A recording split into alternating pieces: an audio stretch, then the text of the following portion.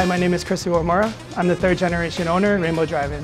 So three things to know before starting your business. Tip number one would be create a business plan. For us, that really helps out to kind of scenario plan, best and worst case scenarios, so you can kind of figure out how you're gonna operate your business. Tip number two is create your mission and your values. We rely upon our values to guide our decisions when we have to make those really tough choices. Tip number three is defining your success.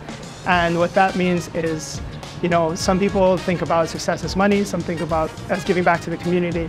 It just matters on what you define as success.